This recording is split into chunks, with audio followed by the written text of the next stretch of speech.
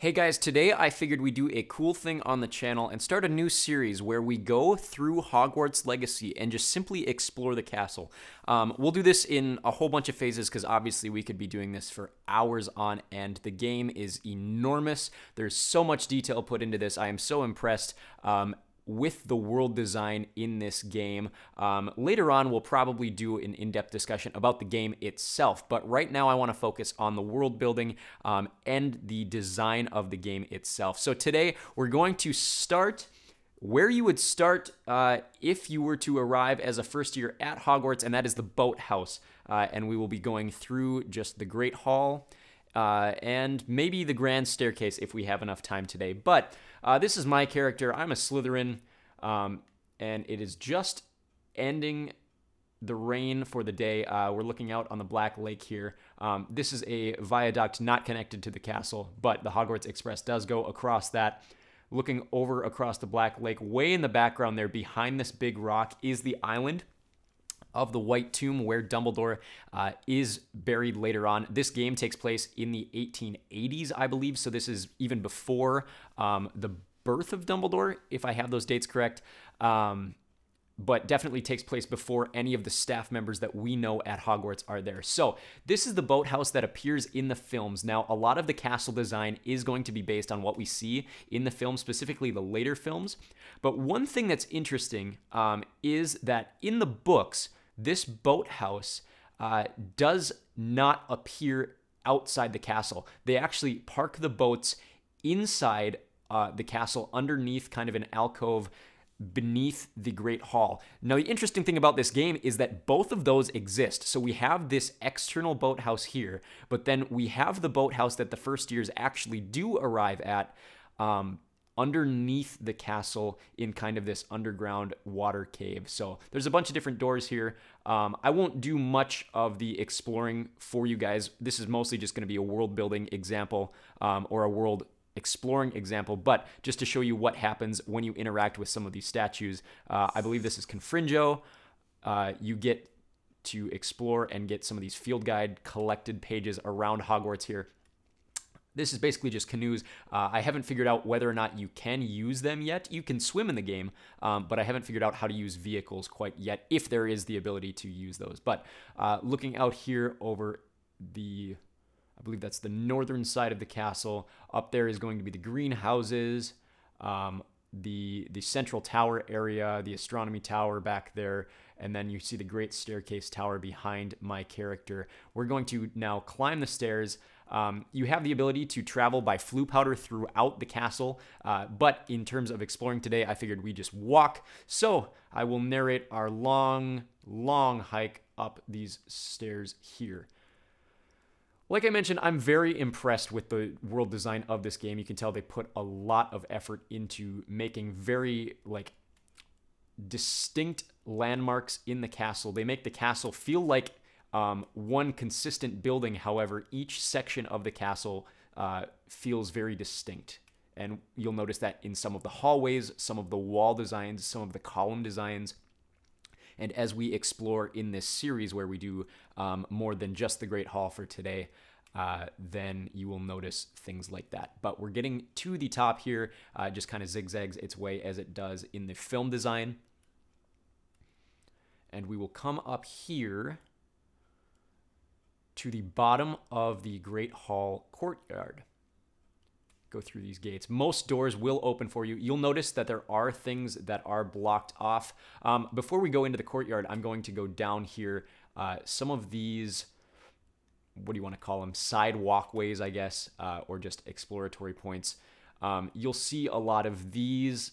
Uh, this is just a, a, little game you can play where you cast Lumos and it gives you a hint on where to find a missing puzzle piece to attach that missing puzzle piece back uh, and get a prize. This is that underground harbor I was talking about. Uh, the location is on the what would that be? The western side of the Great Hall courtyard below. Uh, it's going to take us down below, and you'll see this is actually where the first years are going to arrive with Hagrid. Um, out there is the Black Lake. There's a little kind of alcove that that comes in. Not a ton of, I mean, there's a ton of detail everywhere in this game. um, but not a ton of things to really explore in here. Some chests that you can find. Um, but you look around, it's going to be more decorative canoe type stuff. Uh, chests that you can dig into. My inventory is full, so it's not going to give me anything. But very cool set design. You'll see owls everywhere in this game. Is that a real owl or a statue? That is a statue. But there are real owls that just follow you everywhere in this game. Uh, but we will go back then up to the the viaduct court or uh, the viaduct courtyard. I've been told that I say the word viaduct wrong. Um, I've always said viaduct, but apparently that's incorrect.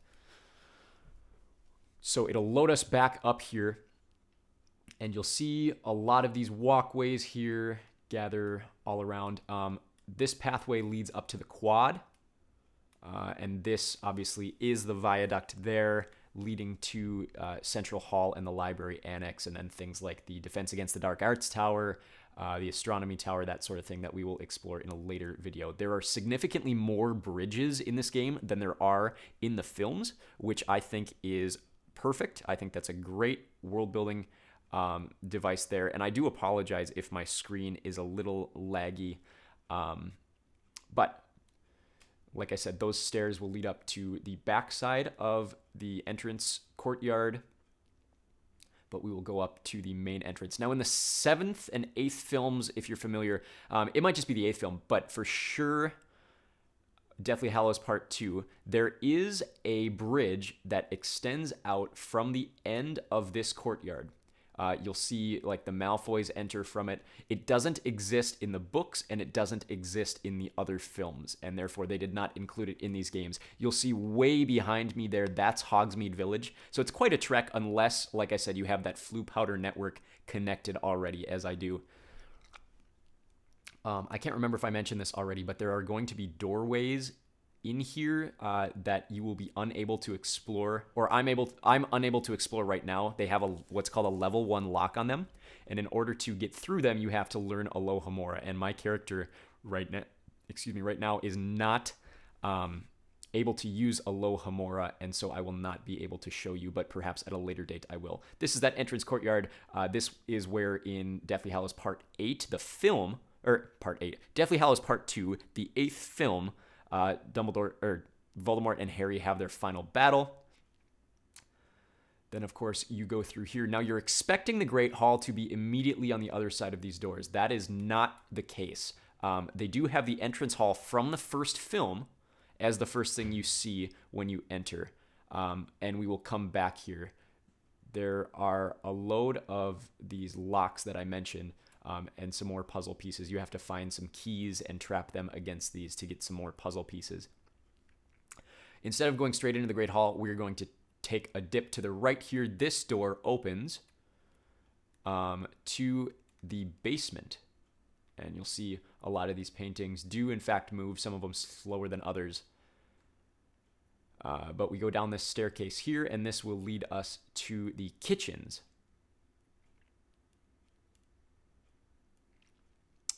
Nope, I apologize. This is an entrance to the dungeons. So, um, another chest. There is an entrance to the kitchens that we will find later on, but let's just follow my right shoulder here. Um, I mentioned the world building design. All of these columns, or specifically the ones back there, uh, these lanterns have snake designs, so you can obviously tell we're in the Slytherin area. Um, this is one of the bathrooms. And I haven't found any Easter eggs in the bathrooms um, besides like a lot of the toilets explode and you can pull them to flush them. Uh, but if you flush them all at the same time, nothing major happens, or at least none that I have found. Um, and I also haven't found the entrance to the Chamber of Secrets yet. But eventually, hopefully, we will get there. More bathroom stalls here. Uh, obviously, green for Slytherin. We will exit out here there's another bathroom exact, uh, almost exact same design on the other side here. Um, but let's follow the walls down below. Keep following my right shoulder there. Um, and if you go up in this direction, where are we now? This is going to lead us up to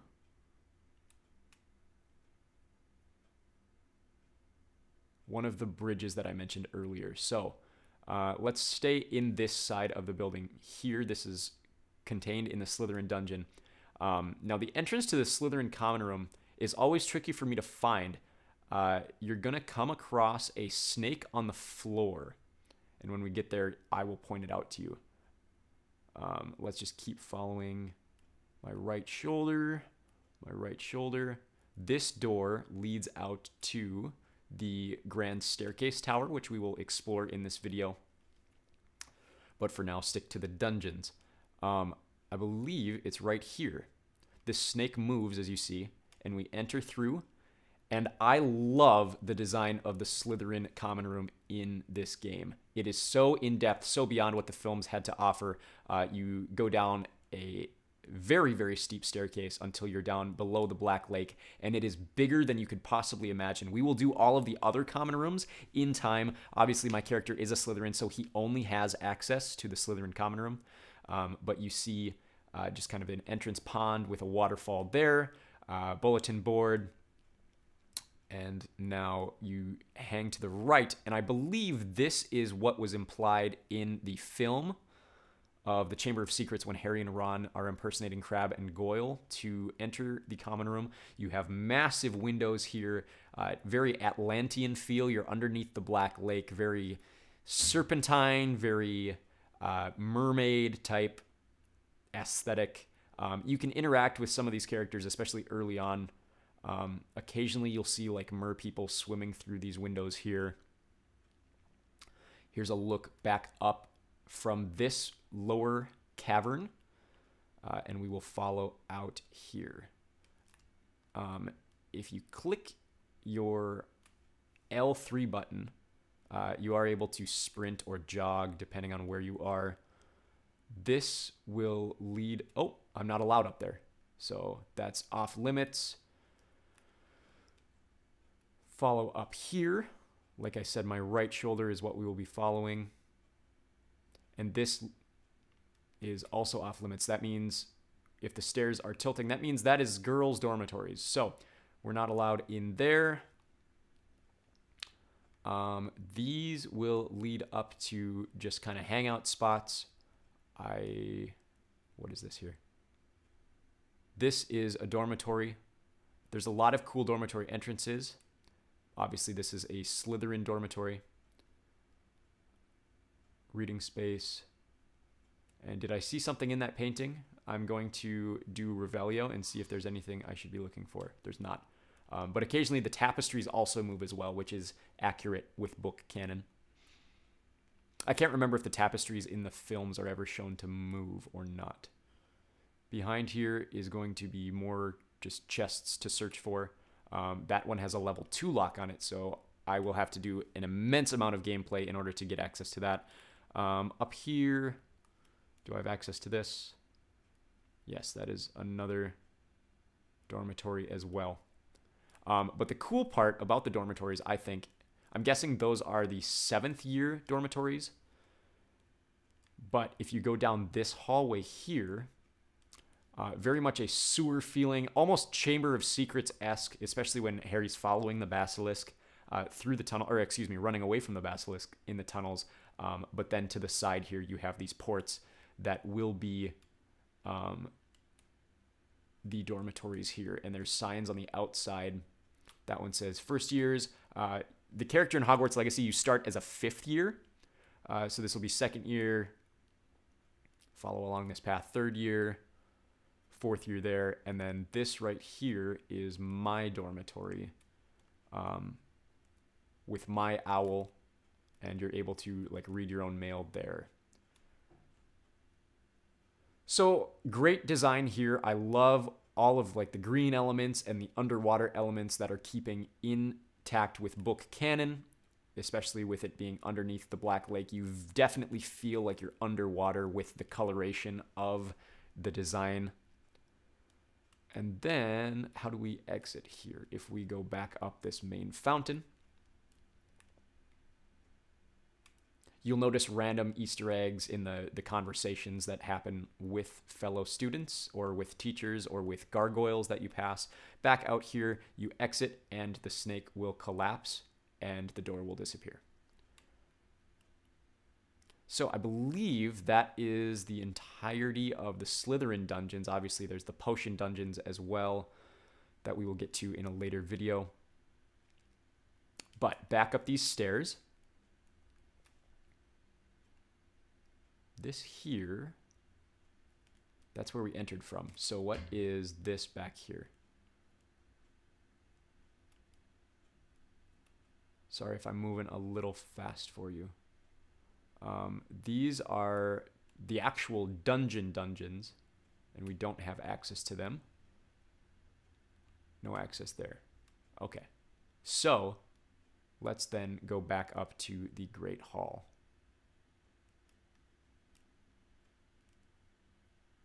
A lot of spiral staircases. You do get dizzy, especially if you're playing this at night or if you get headaches regularly. So I do apologize for my screen moving as fast as it is. We're back out in this entrance hall. I mentioned this is where the kids.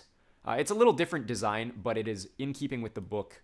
Um, this is what the kids see when they enter in the first book in the first film. Um, switching spells here, like I said, I'm not going to do a ton of spells, uh, but just to show you guys what happens if I do something like, um, oh, what's the spell they're looking for? I think it is Dis- Levioso. Um, and I place that into my spells, and I cast it right there. It's going to give me another one of those puzzle pieces, and then the statue actually disappears, so you know when you've collected them. Back up to the top of the entrance hall. This is, of course, where um, that's one of those keys, by the way. So it is going to relocate itself to that chest at the bottom, and I will come back to fix that puzzle later. Um, that is a character I will need to talk to to get a quest later, um, but fairly accurate with keeping with the books and how the films set the design. You walk through here, and you're still not in the Great Hall. This is a hallway leading up. Uh, to go to the right, uh, we'll come back to that.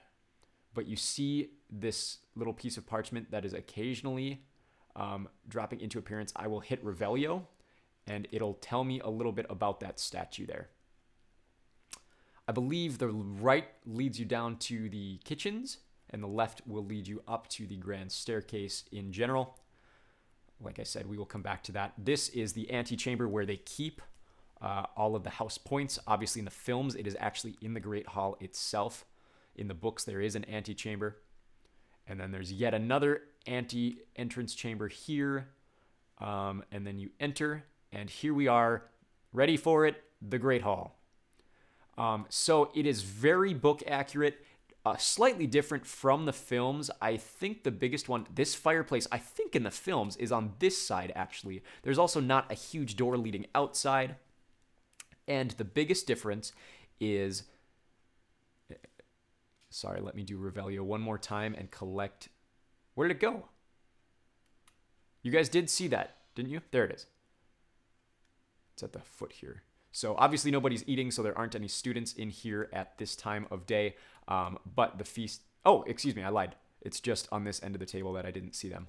Kids are eating at the ends of the table. Uh, when there's not food on the tables, you will see um, these tapestries are more distinct. So obviously you have Ravenclaw's table here, Slytherin, uh, which is film accurate, Gryffindor, and Hufflepuff. There is a balcony that we can get up to. Um, the thing I wanted to point out here, though, that's different from the films is that these tables are rounded.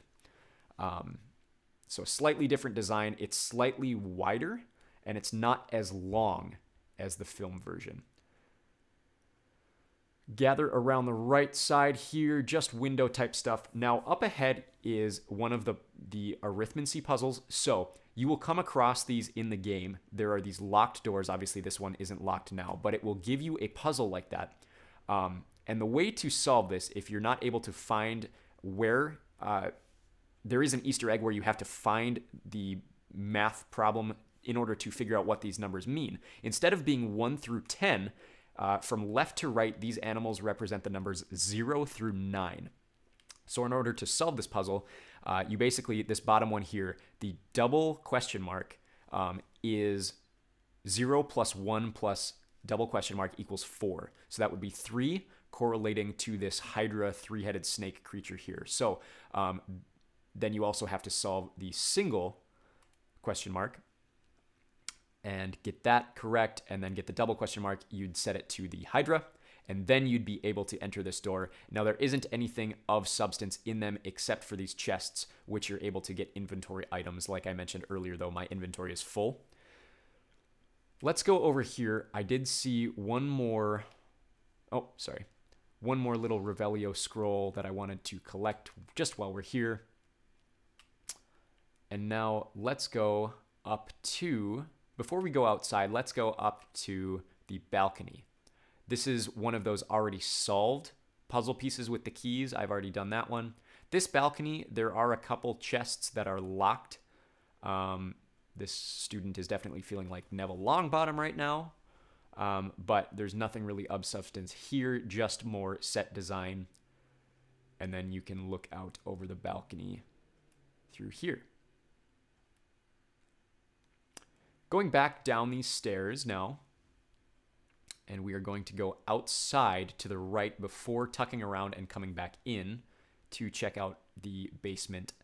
Um, it is significant. The out what am I trying to say here? The exterior of Hogwarts is very much uh, more expanded upon than in the films. So there are gardens everywhere. Uh, it's not just a rocky hillside. This garden obviously doesn't exist in the films. Um, that is a door leading to the main quad. We won't go in there. We'll discover the quad in our next video, I believe. Um, but for now, just look around this garden here. Uh, all of these windows, and more specifically the windows at the bottom of the hill, you'll see when I tumble down these steps. This is the Hufflepuff common room that is immediately below us. So architecturally, um, you'll see these windows. Inside there, underneath this garden, is the Hufflepuff common room. Now, that is the Great Hall there. You'll notice the design is slightly different. It's more rounded than it is in the films. There's the Grand Staircase Tower with the Headmaster's Tower up top and then of course the quad towers, Gryffindor Tower, um, the hospital wing there leading to the um, you can't really see it. That's the clock tower courtyard, and then the wooden bridge beyond that, leading down to things like Hagrid's hut and the towns that are south. Um, there are, in fact, towns south, and that is not Hagrid's hut. That is an additional hut that doesn't exist in film or book canon. There, I mentioned the White Tomb Island, exists out in that direction there.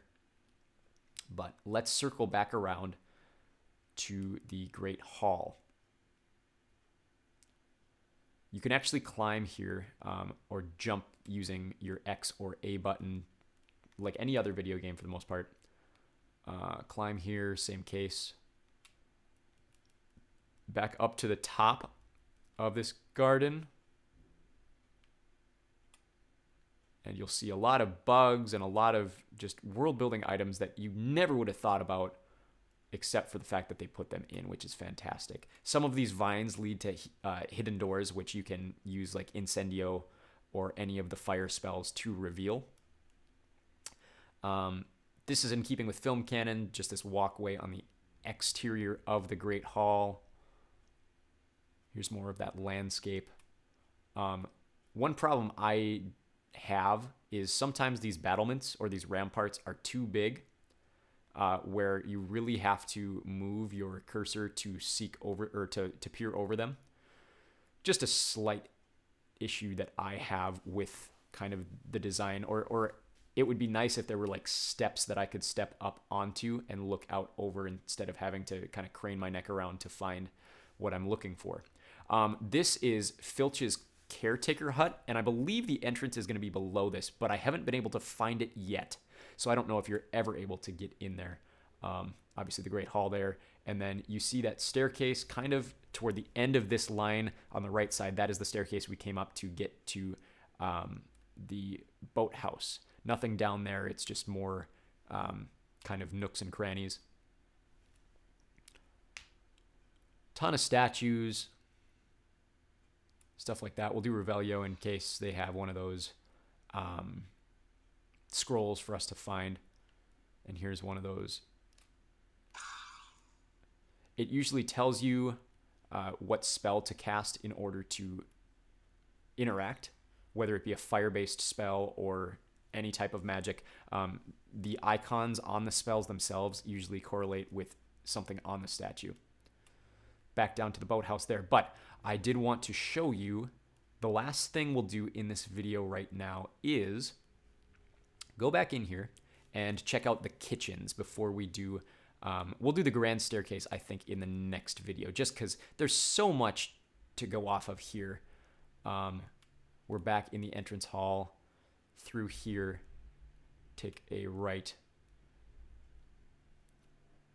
And when you're on the right side here tuck left and here's another one of those puzzles um, this the door is actually above here so sometimes you really have to search for these extra spinning wheels. But you go down what is decorated very much like with foliage and and garden type stuff. You definitely can tell you're in the hufflepuff area here. Um, more chests to discover back there or at least there used to be. Um, and then you're in the kitchens area so very brick feel, very homely feel. Uh, I mentioned like each section of the castle feels very much its own thing. Moving paintings here. Now, this painting is where you tickle the pear to get into the kitchens. Um, and I've already done that, so it's already open for me. You enter here and you will see house elves everywhere. And I love the design of this place. You can pick up and eat anything you want. It doesn't affect anything health wise. You just note that it's delicious. Uh, brick ovens here. Uh, there's a house elf working on something, squashing butterbeer or pumpkin juice or possibly both. Um, I haven't been able to find any real Easter eggs or puzzle pieces in here, just kegs of everything. House elf scrubbing. Obviously, this is long before Hermione's uh, House Elf Liberation Front. Roasting the chicken or the turkey or whatever that is. Um, flies everywhere, obviously not that sanitary, but um, these are the House Elf living quarters. Uh, I've already done the puzzle piece here uh, in order to find out what these are. It gives you kind of an explanation of what these are, but these little houses are where the uh, house elves sleep and it's not explained uh, if they shrink or not, or if they just literally just fit in a barrel and fall asleep. Because uh, obviously you're seeing a house elf next to it, and the size differential is not phenomenal. All sorts of food on these middle tables here. And just with the design of these columns and these arches here, you can tell we're underground. You can tell we're beneath a castle or a church or something architecturally similar huge pot digging some or uh, boiling something. I'm not able to climb up there. You have to be the size of a house elf to do so. But then we are back to the main entrance and we will exit here.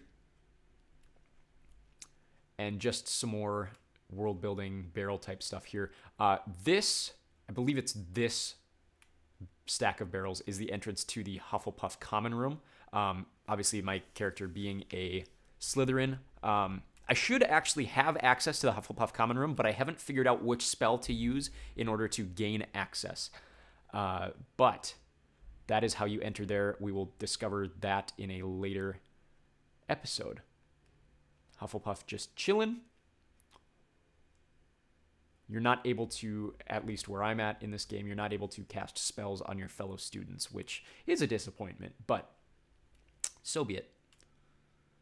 Now, one last thing we'll do in this video um, is when we're sticking to the right here, let's just go as far down as we can in the grand staircase. I think this will take us back to the dungeons.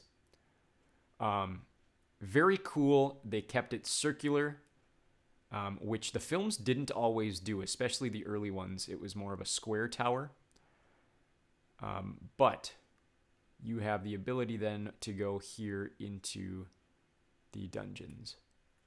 And now we are back in the Slytherin section. So that is all we will do for this video. Come back uh, next time and we will explore the Grand Staircase, the quad, um, everything to do with the Gryffindor side of the castle. But for now, that's all I have for you. Thank you very much. We'll see you next time. Subscribe to the channel to see more.